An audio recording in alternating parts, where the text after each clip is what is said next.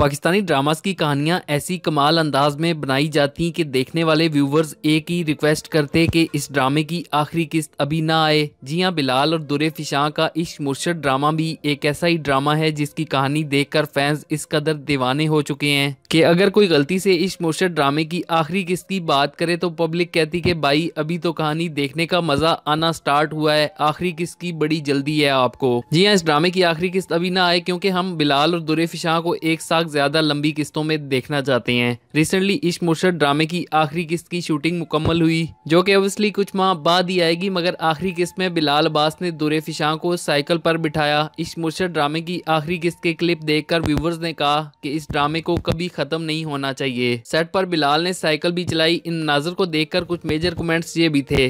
What last shut up this student and best serial ever भाई, अभी तो eighth episode आया है और अब लास्ट एपिसोड भी आ गया। सो आपने अगर अभी तक चैनल को सब्सक्राइब नहीं किया तो सब्सक्राइब करके बेल आइकन को ज़रूर दबा दें ताकि यार नई वीडियो आपको भी मिल सके। मिलते हैं एक नई वीडियो के साथ। तब तक के लिए अल्लाह हाफिज़।